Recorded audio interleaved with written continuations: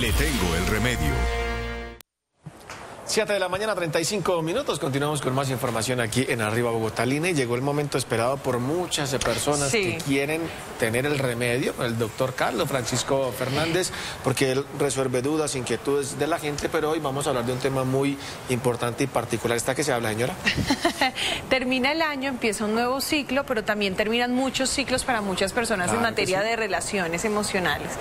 Y no, no hay- necesariamente porque se acaba el año, eso puede pasar en cualquier momento. Puede del pasar año, en cualquier momento, pero muchas personas están atravesando por eso en este momento y hay que entender cómo hacerlo de la forma adecuada para no traumatizarnos, pero en el caso de los hijos, pues también para no traumatizar a los hijos.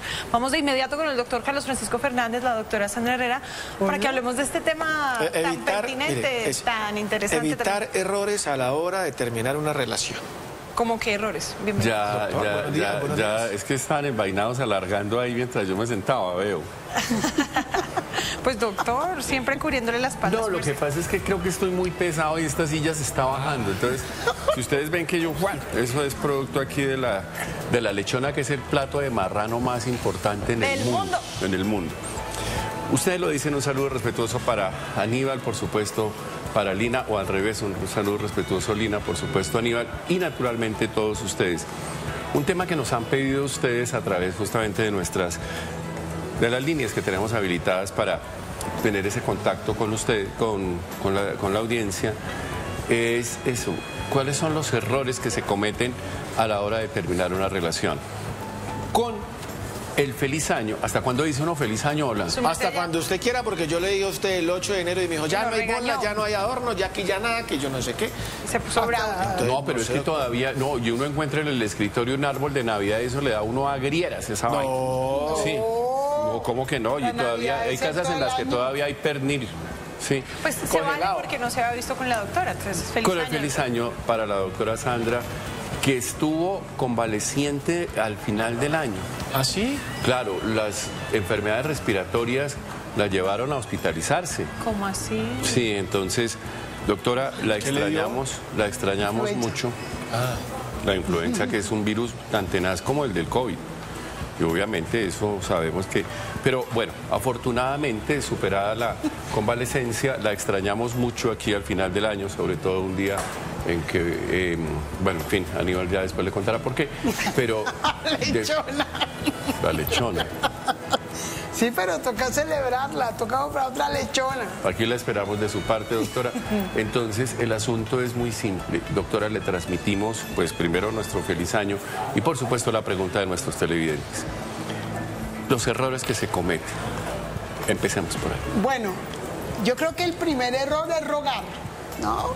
Yo creo que cuando a ti te dicen, no quiero estar contigo, no me siento tan bien contigo y posiblemente ya no te quiero, creo que hay que darle espacio a la otra persona y uno retirarse de alguna forma y no mostrar necesidad. No, pero sea, un momentico, un momentico. Alguien le dice, no, yo ya no te quiero, y entonces uno responde que déjeme el closet como lo encontró y chao, ¿o qué? ¿Cómo es la vaina?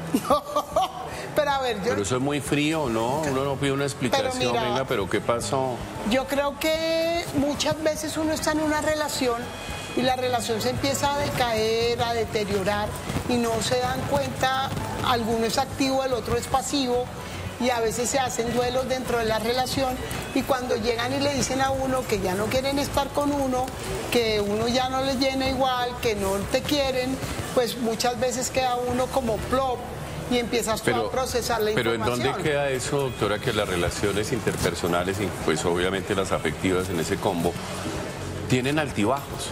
Entonces alguien de pronto un día amanece y dice, ay, yo no, chao, yo, yo la verdad estoy como harto con la vaina. Pero es como, digamos, un estado de ánimo y no una decisión. Hay que cogerle la caña ahí a esa vaina. o No, yo creo que hay que discernir si es un estado de ánimo o un momento de aburrimiento en la relación que puede existir o si realmente ya la pareja se lanza a decirle a uno pues que realmente no se siente bien con uno. Sí, yo creo que son dos momentos diferentes. Pero yo creo que en las relaciones y las mujeres, me incluyo, somos como de botar banderas cuando no estamos tan chévere en la relación y empezamos a decir como, oye, cambia esto, tal, patatín, y no paran bola. El pititín y el patatán. Mire, mire lo importante, Lina. Este tema pareciera que no, pero empieza la gente a escribir. Dice, esas relaciones en las que uno es el que insiste en permanecer mientras que el otro hace desplantes y a veces sí y a veces no.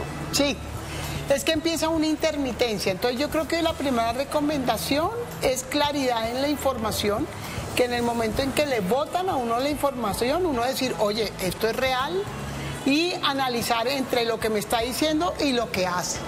pero en este caso, pero en este caso, una persona insiste y el otro sí y a veces no, eh, ¿ahí qué se hace? No, yo creo que es importante como poner un punto en el camino, un stop en el camino y no permitir, segundo punto, que sean intermitentes y jueguen con nuestros sentimientos. Porque acuérdate que en una relación siempre hay un activo y un pasivo. Pero doctora Sandra, en ese caso, por ejemplo, pues la persona puede manifestar, es decir, a veces sí, a veces no, estoy como indeciso en el paseo, pero estar indeciso no es válido en una relación. No, es válido, pero con límite de la otra persona. Tú no puedes estar indeciso un año.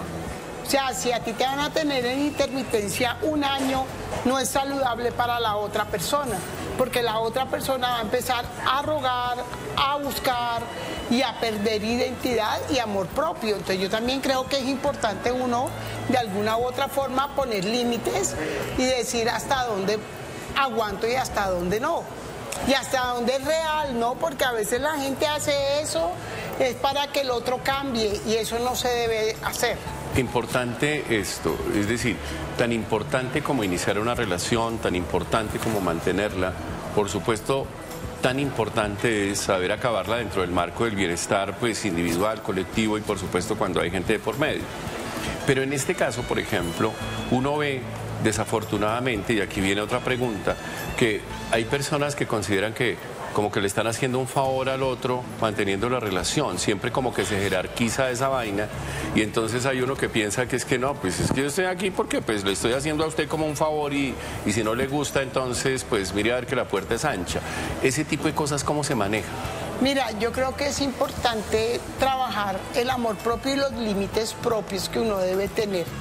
Cuando tú sientes que no hay reciprocidad, cuando tú sientes que realmente no hay conexión, uno tiene que empezar a tomar medidas y cartas en el asunto.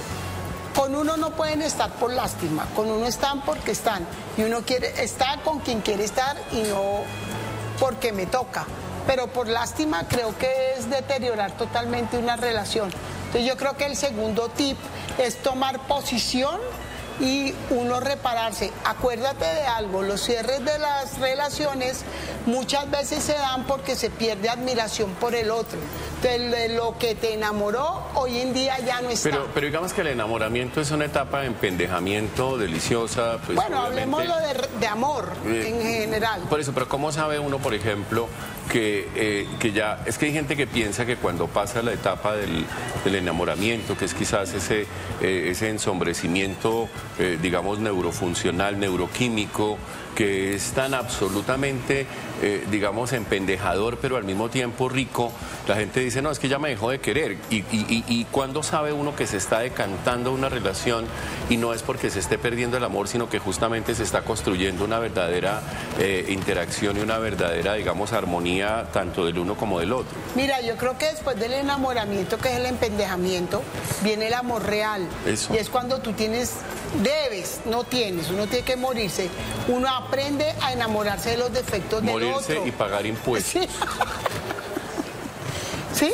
Entonces yo creo que es súper importante como tener claro que cuando tú estás con alguien debes empezar a aceptarlo, vivir con las diferencias, pero eso no quiere decir que si tú eres grosero el otro tiene que aguantarse. Lina. Doctor, ¿qué hacer eh, para llevar un proceso sano cuando hay hijos de por medio? Porque eh, la, la pareja puede tener conflictos que pueden tener cualquier tipo de situaciones, infidelidad o simplemente ya no hay admiración, pero hay unos hijos de por medio en que, no, pueden resultar afectados en medio de ese proceso. ¿Cuál es la recomendación? Mira, Lina, importante tu apunte. Creo que es súper importante saber que terminas como pareja, pero que los hijos no pueden estar en el sándwich. ¿Sí? Una cosa es que tú termines tu relación afectiva con tu esposo o esposa y otra cosa meter a los niños en el problema. Entonces creo que lo primero que hay que hacer es no pelear enfrente de ellos, no agredirse en frente de ellos y mucho menos que los niños escuchen malos comentarios de parte de la familia de él o de la familia de Doctora, ¿deberían esas parejas tomar eh, terapia para aprender a ser padres separados? ¿Se requiere esa asesoría profesional o eso es autónomo? No, sin duda. Hay personas que lo pueden hacer naturalmente, pero también hay que buscar asesoría en pautas de crianza y resolución de duelo. Eso es una resolución de duelo y hay que tener algo en cuenta, Lina. Y es que los niños nunca pierden la fe que los papás van a regresar. Además hay que entender que en Colombia ya, ya existe la violencia vicaria cuando se intenta agredir a la expareja a través de los hijos, ¿no? Y hay que entender claro, que es marco legal. Eso en, en Europa llama SAP síndrome de alineación parental. Pero no, ojo, ojo, ojo, ojo, doctora, porque la Corte Constitucional, la Corte, algunas cosas de estas, eliminó el término en Colombia. Ah, porque había una cosa ahí que, parece que no existía desde el punto de... Bueno, eh, después discutimos ese tipo de elementos más de tipo normativo. Pero lo que dice, lo que dice Lina es absolutamente importante porque resulta que frente a eso, el utilizar a los hijos como la disculpa bien para mantenerse, incluso hay parejas que dicen, no, pues yo no me he separado es porque están los hijos, por mantener, digamos, una imagen social, o por una dependencia económica, que es una cosa muy compleja hoy en día, o afectiva, sin duda. En ese caso, eh, hay personas que no creen en los componentes de terapias ni naturalmente y piensan que digamos que uno viene con ese kit para enfrentar. ¿Cuáles son esas señales que dicen que la cosa está mal? Mira, uno, cuando hay silencio en frente de los hijos, súper importante tenerlo claro, ahí ya hay agresión. Dos, cuando tú tienes que rogar para que te den. Tres, cuando tú abandonas el ser tú para poder recuperar al otro. Cuatro, cuando tú no te recuperas y no tienes capacidad de reparación y te coges de un ala o un ancla que tú tengas en tu vida y te ayude a salir de eso. es como cuando tú te desvaneces. Pero, doctora, hay, hay personas que se quejan hoy en día de que las relaciones, digamos que los tiempos cambian pero pues antes las relaciones duraban un poco más y la gente luchaba por eso, había terapias de, parejas, qué sé yo, independientemente del tipo de pareja que se tenga, encuentros matrimoniales y todo este asunto para tratar retiros y toda esta cosa, para tratar más o menos. Hoy en día la gente se queja y hay, digamos, componentes en que esto es desechable, ¿no? Si no le gusta, pues abra la puerta y hasta luego. ¿No será también que hay como un cambio generacional y un cambio de actitud y un cambio, digamos, de cultura frente a esto? Yo creo que hay un cambio generacional más que de cultura. La cultura sigue siendo igual, pero generacionalmente sí porque se han vuelto más inmediatos y todo es más desechable. Y hay algo de fondo en, en esta generación y es la agresión con la palabra. Eso es, no importa, creen que hablar sin filtro es lo que es y no importa enfrente de los hijos o enfrente de la pareja y deteriorar al otro y dejarlo pues como un trapo. Y eso no es, pero eso depende del otro, de los límites que pongan.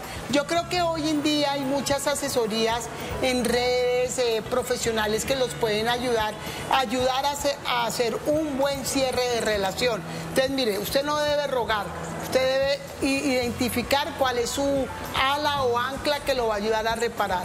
Pero el tiempo no es importante en esto porque uno ve, por ejemplo, que hay parejas que terminan dándose en la jeta y toda esta cosa y lanzándose las cosas a la cara y, haciendo escándalos y botando las cosas por la ventana y todo eso.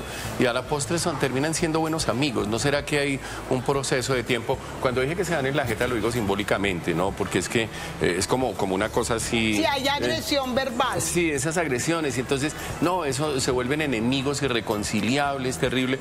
Y a la postre terminan, digamos, entendiendo que los procesos eh, vitales eh, requieren de armonía y demás. ¿No será que el tiempo también hay que, hay que darle un poco Claro, porque eso es una etapa de negación y en la etapa de la negación, que es del duelo, le coges un poco de fastidio al otro, pero en la medida que va pasando el tiempo, vuelves a reconciliarse, vuelven a entrar en la individualidad y podemos llegar a tener una buena relación. Hace algún tiempo ya, porque eh, antes eh, uno tiene una época en la que lo invitan a matrimonios, sí, ahora a mí me invitan a esas exequias, a velorios y esa vaina, pero, pero digamos que sí, así, ustedes tienen una etapa en que la gente le invita al prom.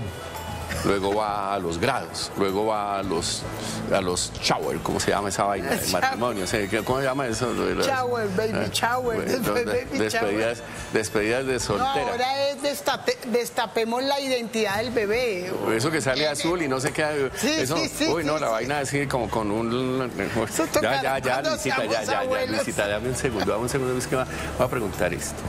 Resulta que pareciera, ¿sí? Que el asunto hoy en día es estar solo. Entonces, cuando a mí me invitaban a una relación de esas, algún día alguien dijo, me dijo, en esa época, me dijo, ¿sabe qué? No nos traigan nada, vengan más bien y nos acompañen. Yo les pregunté, ¿por qué no quieren que traigan nada? Y el tipo me dijo una cosa.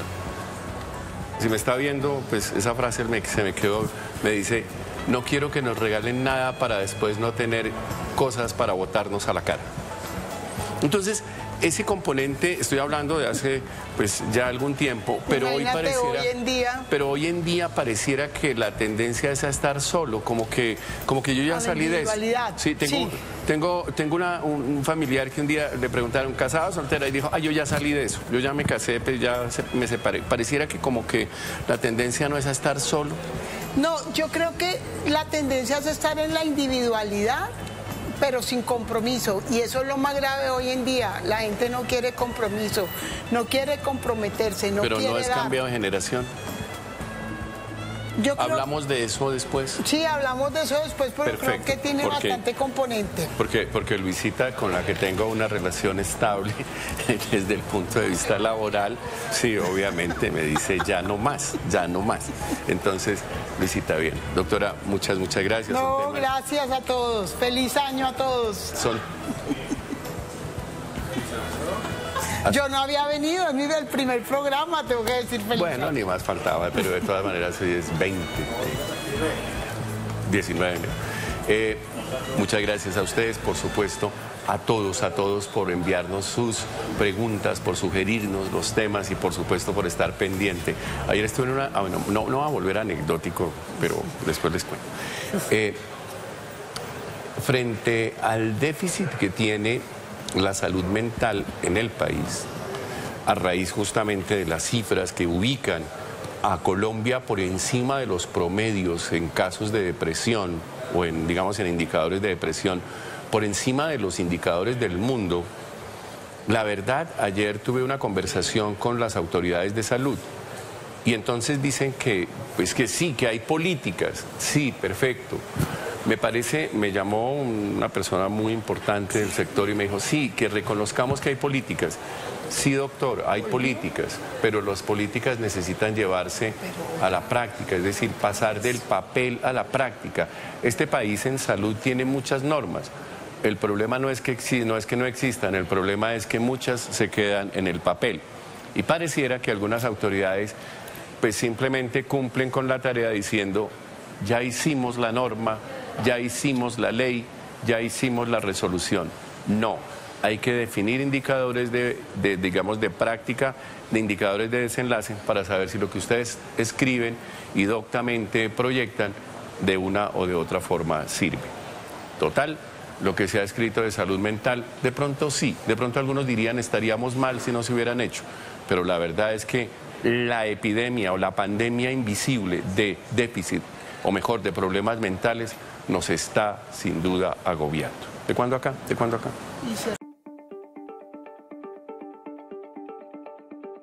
Suscríbase a nuestro canal de YouTube, active la campana y no se pierda las últimas noticias. Somos Canal City TV.